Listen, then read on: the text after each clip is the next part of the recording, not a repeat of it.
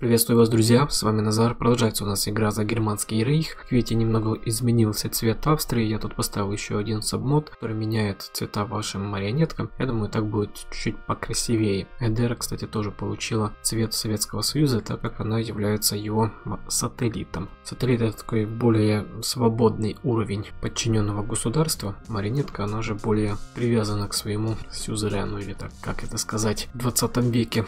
Итак, у нас выполнились Берлинские конференции конференции, получили хорошее мнение фашистских стран относительно нас, плюс 75. Дальше идем по объятиям национализма. Теперь мы официально заявляем о нашей поддержке создания новой национал-социалистической партии Германии. Получим политвласть, опять мнение учится, поддержку фашизма получим, получим нацдух, еще плюс 1% военнообязанного населения. Сейчас я буду идти полностью вот по этой ветке. Ну, говорят, что в 60 году все вот эти наши ветки должны как бы исчезнуть, потому что в этом моде сделано так, что постоянно подгружаются новые фокусы. Например, если тут выборы, то там бы пошли какие-то другие выборы. Мы посмотрим, как оно будет. Я только надеюсь, что армейские, вот авиационные и флотские не исчезнут никуда, потому что мы их еще не особо-то и прокачивали. В Польше неспокойно, польские металлисты в Познане объявили забастовку и выступили за демократические реформы и распуск коммунистического правительства. Хорошо, то, что в Восточном блоке происходят восстания, это нас радует. Говорят, что в Будапеште готовится тоже кое-какое восстание. Теперь нам доступна революция Восточной Германии. У них должно произойти событие про западный раздор или борьба. Наши братья и сестры на Востоке смотрят на нашу новообретенную националистическую гордость завистью и обожанием. Нам нужно поддержать их, дав им то, с помощью чего они смогут присоединиться к нам. Давайте попробуем, что из этого получится. Даже интересно. Также у нас есть на границе с Австрией такое государство, как Югославия. Там хорватские националисты отправляют нам письма помочь им. Это государство государство является нейтральным, оно не входит ни в один блок. Можно было бы посмотреть и в его сторону, но сначала давайте решим вопрос Восточной Германии. Наша разведка нам не врала, в Будапеште действительно происходит восстание, советские войска выдвинулись в этот город. Революционные социалисты захватывают власть венгерской столице, но советские танки быстро подавят это восстание. Происходит революция в Восточной Германии и, судя по всему, не принимают требования. Вот просто так? Серьезно? И даже никакого ответа от Советского Союза? Хорошо. Ну давайте дальше протестовать против размещения иностранных войск. Мы также получаем очень много вооружений из Восточной Германии. Ну вот, например, по истребителям а, было 100 в запасе, сейчас 300. Пехотное снаряжение плюс 28 тысяч, а было где-то минус 10 тысяч. На подготовке шло. Автопушек тоже вижу, было около нуля, получили 2000. Также увеличилась наша экономика. На данный момент у нас 36 военных заводов, почти 4 слота на гражданской фабрике работает над постройкой новых заводов. Ну и давайте теперь будем против Федеративной Народной Республики Югославия оправдывать цель на Хорватию. Попробуем взять под контроль это большое балканское государство заканчивается финансовый период. Ну, я это знаю, вот по таким вот окошкам они объявляют, когда нам добавляются деньги в бюджет. Ну и теперь мы видим, что у нас достаточно хорошая прибыль пошла. ВВП, ну, не удвоился, конечно, но где-то 50% добавилось. Ну и сейчас по ВВП мы, наверное, догнали, нет, все-таки не догнали еще Французскую Республику. Где-то на половине пути от Великобритании находимся. Кстати, у Советского Союза не такой уж большой ВВП примерно как у британцев. Но у британцев все еще есть большие колонии, то же самое можно сказать и про Францию. Мы только догнали Италию. Но это все из-за того, что был реализован после Второй мировой войны план, согласно которому разрушались все промышленные предприятия крупные германские, засыпаясь шахты, хотели страну превратить в аграрный придаток, видимо. Но не получилось у вас. Следующим фокусом станет аннексация Саара, еще более оскорбительным, чем все остальные территориальные захваты так называемых держав-победителей, является передача Саара под управление Франции. Так больше не может продолжаться. Видимо, произойдет обычная аннексация. Тут, кстати, есть много нефти. Но вообще по нефти у нас полный порядок, плюс 23 аж есть. Из забавных фактов мы строительные материалы экспортируем в Израиль. И давайте, поскольку у нас появилось много гражданских фабрик, создадим разведагентство. Оно тут очень дорогое, 15 аж идет и очень долго. Это происходит 200 дней. Ну, тут есть даже исторический, наверное, значок. Ну, что-то похоже на немецкое.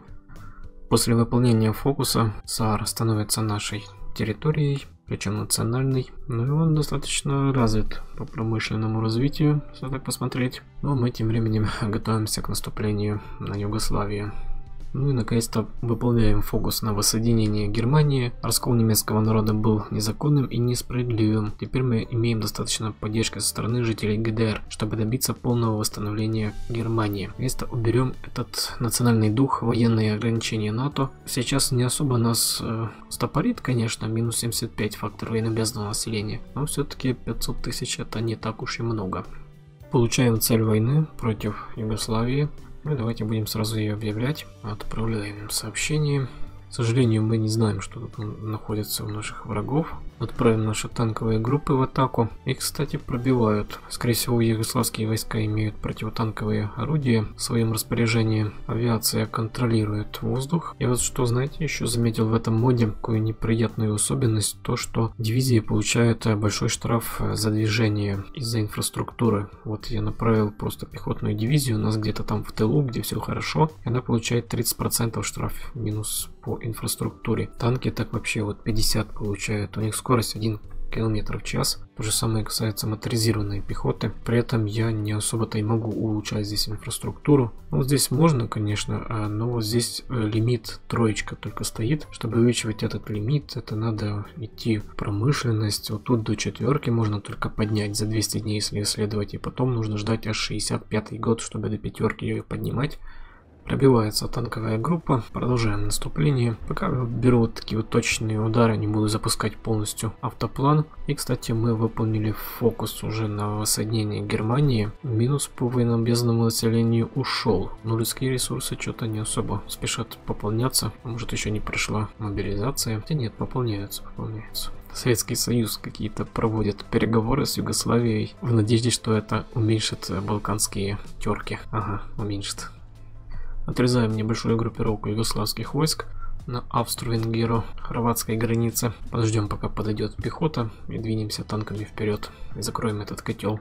Выполняется фокус на фюрера Эрнста Ремера. Генерал Ремер сделал очень много для того, чтобы обеспечить власть Рейха. В интересах социалистической партии Рейха и самого Отечества решено сохранить его в качестве нового фюрера. Дальше мы можем выбрать между современным Блицкригом, доктрина бонус получит, либо просто опыт армии. Ну, я возьму доктрину. Опыт армии, к сожалению, нельзя в этом моде тратить на то, чтобы увеличивать скорость исследования доктрин. Только бонусы идут вот от фокусов, а опыт армии только идет на изменение состава дивизии. Причем даже нельзя, например, прокачивать танки. Вот если мы возьмем вот сюда, нажмем на создать вариант, то тут только можно переименовывать. Наши войска продвигаются в сторону Триеста. Должны сейчас забрать этот порт и сделать еще такое большое окружение. Сам город, кстати, отошел к Италии. Он, как вы знаете, после Второй мировой был свободным городом, но вот решили его отдать итальянцам. Вот еще четыре дивизии окружены. И мы начинаем закрывать это окружение. Давайте посмотрим по потерям техники. Да, 122 танка нами было потеряно. Достаточно большое количество, учитывая то, что мы производим 3 в неделю. Ну, теперь, я думаю, можно запускать автоплан. Югославская армия очень сильно потрепана, так что нашим войскам, я думаю, не составит труда ее уничтожить. Белград не прикрыт. 10-я дивизия панцергренадеров забирает этот город продолжает движение дальше. Танки делают и вот еще один котелочек. Думаю, пока можно остановить автонаступление, потому что вот эти дивизии, они все равно сдадутся после того, как мы возьмем победные точки. Вот и победа в войне. Захватили, вижу, даже танки старые советские. Ну, нам они тоже пригодятся, возможно. Тут, кстати, очень много есть республик, которые можно освободить. Я сначала заберу себе, там сейчас посмотрим, что можно будет освобождать. Можно, кстати, полностью Югославию создать. Давайте мы сделаем э, Хорватию отдельно и отдельно Югославию. Правда, тут отойдет э, Словения, скорее всего, в Югославию. Давайте посмотрим. Отпускаем Хорватию а теперь Югославию, или сделать все-таки Сербию. Но я бы не хотел их тут сильно дробить. Давайте пусть будет Югославия. Радикальная Югославия, да. Ух ты, Шон Коннери, да неужели? Вот это поворот. Ну и в Хорватии Анте Павелич руководит этой страной. Ну, вот это можно будет отдать э, при помощи консольной команды, например, хорватам. Сделать национальной территорией. Потом между сериями займусь. Ну что ж, наш альянс потихонечку растет. Одно, что плохо, то что получается очень большой протяженный фронт против советского блока. И последний фокус из нашей политической ветки – это Великий крестовый поход против коммунизма. Но тут почему-то цель войны против ГДР дается. Логичнее тут было бы дать против Советского Союза, раз вы вот здесь даете просто-напросто присоединение. Потом мы его выполнять не будем, ибо он бесполезен для нас. Дальше давайте займемся вот этой вот компьютерной веткой технологий. Получим вот тут бонусы. Как раз в 60-м году нужно будет исследовать многие технологии электроники и промышленности. Также у нас открывается разведагентство. Ё-моё, 120 дней, чтобы одного агента завербовать. Ну и сам шпионаж, кстати, вот тут очень переработан, я так посмотрю. Интересно, сколько дней, но это требуется. 100 дней, чтобы один отдел основать. В Северной Африке разгорается война между французским Марокко. Почему французским? Потому что Французская республика имеет здесь большое влияние, а также Ривской империей, которая является националистической. Поэтому мы отправили одну дивизию на помощь этой стране. У них меньше войск, нежели у Марокко, поэтому давайте будем пробовать пытаться помогать этой стране. Я думаю, танковая дивизия сможет это сделать. Но ну, а в Советском Союзе идет оттепель. Никита Хрущев решил освободить многих политических пленников в лагерях ГУЛАГа. Середина 58 года, к сожалению, наши войска, которые пребывали в Северной Африке, не смогли добиться успеха в этой войне, потому что марокканцы, они окружили возле Мелильи войска наших союзников и их уничтожили, потому что тут не было порта, две дивизии, ну и у нас тут осталась наша одна и одна союзническая, и таким образом мы не смогли ничего сделать, к сожалению, поэтому войска вернулись домой. По фокусам мы сейчас сосредоточены на морской ветке. Взяли решение на покупку старых американских эсминцев и британских фрегатов. Ничего не появлялось, никакого сообщения насчет этого. Возможно, чуть позже получим эти корабли. Установили Кильскую морскую базу и сейчас мы идем по пути, чтобы получить еще 4 верфи. Вот мы получим скорость планирования и убрали на сдух распущенный ВМФ. Он давал штраф на исследование новых кораблей. Убрать на сдух ночный кризис, к сожалению, не получится, ибо нужно было брать фокус сотрудничества с НАТО. Да, много чего я потерял, не взял этот бонус. Если будете играть, не повторяйте мои ошибки. Ну и пока что идем по пути формирования новых дивизий. Заказал 24 югославские дивизии, гарнизоны формируются, новые танковые дивизии, которые я, кстати, буду увеличивать до сороковки, потому что вот такой вот состав не особо хорошо себя показал и в войне против Югославии, и там в Африке. Еле-еле пробивали вражескую пехотную дивизию.